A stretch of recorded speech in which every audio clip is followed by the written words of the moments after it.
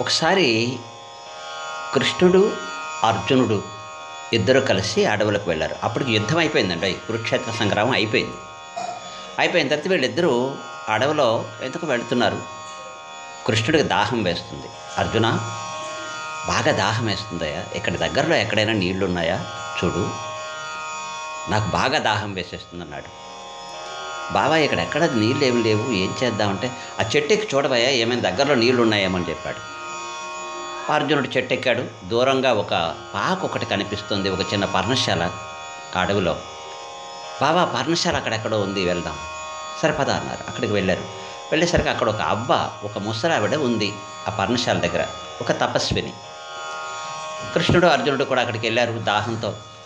ఆవిడేమో వీళ్ళిద్దరిని చూసి రెండు అయినా లోపలికి దాహం తీర్చుకుందరు కానీ అంది. కాస్త అరటి ఏవో ఉంటే పండ్లు ఇచ్చింది దాహానికి నీళ్ళు ఇచ్చింది నాయన కూర్చోండి ఎండలు పడి వచ్చినట్టున్నారు పిల్లలు. కూర్చున్నారు. ఈ లోపల అర్జునుడు అటు చూశాడు. అక్కడ రెండు మంచి కత్తులు. అయ్యా జాగ్రత్తగా వినండి. మంచి కత్తులు అంటే కటగాలన్నమాట. పెద్ద పెద్ద కత్తులు. బాగా దారి తీసి దగదగా మెరుస్తున్నాయి. అవి అక్కడ పెట్టి ఉన్నాయి.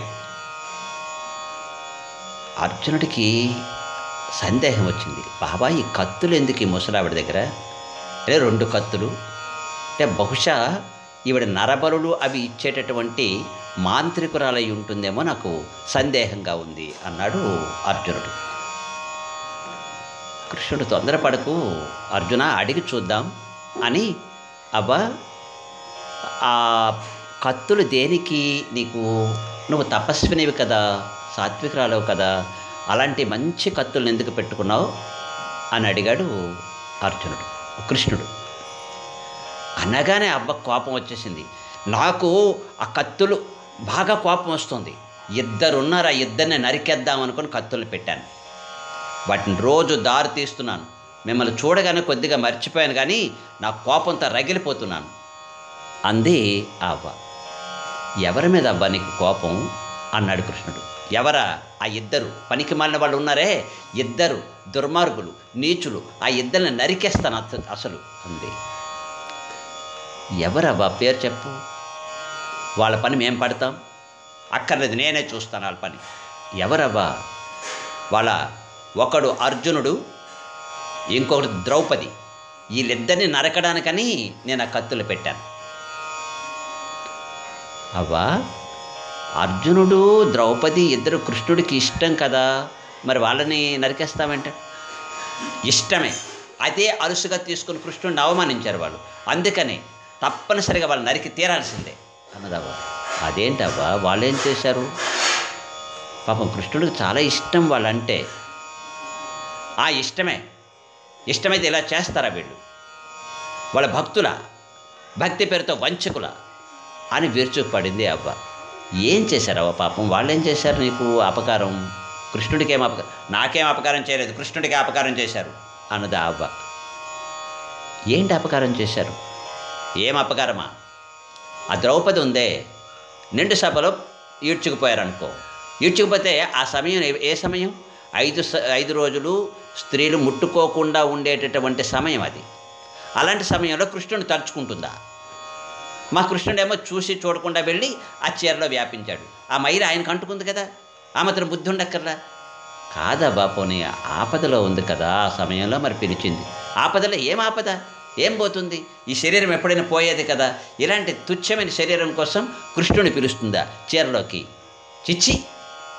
దాని పాప పేరు తెలుసుకుంటే నాకు కడుపు మండిపోతుంది. వెంటనే వెళ్ళి నరికేస్తాను అంతే. అంటుంది సరే అబ్బా పోనీ అర్జునుడు ఏం చేశాడు? అర్జునుడు వీడు ఎంతకన్నా దుర్మార్గుడు? పరమ దుర్మార్గుడు ఈ అర్జునుడు. అదేంటబ్బా అర్జునుడు ఏం చేశాడు? ఏం చేశాడంటారేంటండి అర్జునుడు ఏం చేయలేదా? అసలు పరమ దుర్మార్గుడు పరమ నీచుడు అంటే మొదలుపెట్టింది. ఏంటబ్బా ఏం జరిగింది? వాడికి రథం తోలదా తోలడానికి నా కృష్ణుడు దొరికాడా? మా కృష్ణుడు ఎంత గొప్పవాడు ఎంత మహానుభావుడు భగవంతుడు సాక్షాత్తుగా నారాయణుడు.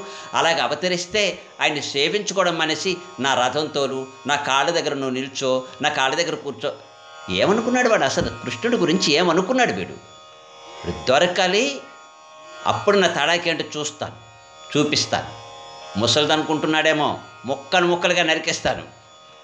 ఇక అర్జునుడికి అసలు ఏం చేయాలో అర్థం కావడంలో ప్రక్క నుండి కృష్ణుడు అన్నాడు పోనీలే అబ్బా పాపం కృష్ణుడికి చాలా ఇష్టమైన వాడు కదా వాళ్ళిద్దరూ వదిలేద్దాంలే అంటే కృష్ణుడికి ఇష్టమైన వాడు కృష్ణుడు అమాయకుడు.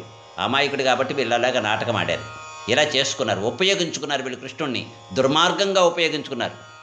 సరే అవ్వా నువ్వు బాగానే ఉంది. కృష్ణుడిని అర్జునుడిని ఇద్దరినే ఆ, అర్జునుడిని ఆ, ద్రౌపదిని ఇద్దరినే నువ్వు అంటున్నావు కదా మరి యశోద కూడా కృష్ణుడిని చాలా ఇబ్బంది పెట్టింది కదా ఆ యశోద దాని సంగతి ఉంది చూస్తాను. వీళ్ళిద్దరు అయిపోని దాని పని పడతా. మా కృష్ణుడు ఏదో దాని యొక్క ఒడిలో చేరినంత మాత్రాన వాడిని కడుతుందా కొడుతుందా? బై ఎన్నెన్ని అన్నది? ఎన్నెన్న గోపికలు గోపికలు వాళ్ళ పని పట్టాలి అసలు. వాళ్ళే మా కృష్ణుడు ఎన్నెన్ని అన్నారు? దొంగ అన్నారు ఇంకేదో అన్నారు ఇంకేదో ఒక్కొక్కరు దొరకాలి అని అంటుంది ఈ అవ్వ. కృష్ణుడు నవ్వుకున్నాడు. నవ్వుకొని అవ్వ నేనే కృష్ణుణ్ణి. ఇప్పుడు అవ్వ చాలా ఆనందపడింది. నువ్వు కృష్ణుడు సరే. అర్జునుడేడి? ఈడేనా? ఈడేనా? అంటుంది. అర్జునుడు పాపం అబ్బా నాదేం తప్పులేదు. కృష్ణుడు ఇదంతా నాటకం ఆడించాడు. నేను అంత అంతటి వాడినా అని నమస్కారం చేస్తే పోనీలే. ఆమెతో నమస్కారం చేశావు కాబట్టి వదిలేస్తున్నా అని చెప్పి ఆవిడదట భక్తులు ఎలాగుంటారంటే ఇలాగ కూడా ఉంటారు భక్తులు కొంతమంది. భక్తికి వీళ్ళ వాళ్ళ నా వాళ్ళ పై వాళ్ళ వాళ్ళ శక్తివంతుల ఏముండదు ఏమాత్రం భగవంతుడి విషయంలో అపచారం చేస్తే వాళ్ళు విరుచుపడతారు మళ్ళీ భగవంతుడే వచ్చి వాళ్ళని శాంతి పరిచినా ఒక్కొక్కసారి శాంతి పడకపోవచ్చు. కనుక భక్తుల దృష్టిలో పడకండి. ఇలాంటి భక్తుల దృష్టిలో పడకండి. అందుకని చాలా జాగ్రత్తగా ఉండండి. జై శ్రీమన్నారాయణ శుభం భూయా